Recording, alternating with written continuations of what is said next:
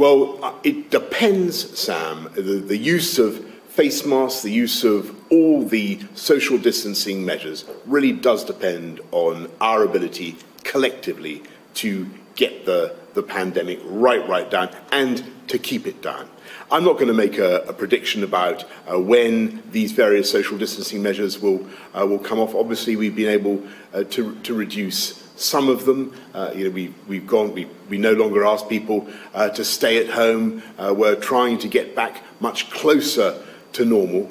But it, our ability to dispense with the, the social distancing measures will depend on our continued ability to drive down the virus. I'm not going to give you a, um, a trigger point, a trigger moment, uh, but uh, we need to make sure that we've really, really got it under control. We're able to stamp on uh, local outbreaks, and we've really greatly reduced the, the risk of, of a second spike. So, my message to people uh, over the next few, few months is you know, we've done very well.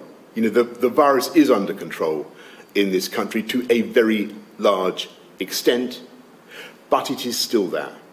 And if you look at what's happening in other countries, there is clearly a risk that it could come back again. So we do need to maintain those social distancing measures. We do need to keep washing our hands in shops, on public transport, in places where you're going to be close to people that you don't normally meet. Face coverings are a good idea, and that will remain the case until we've made a, lot more progress.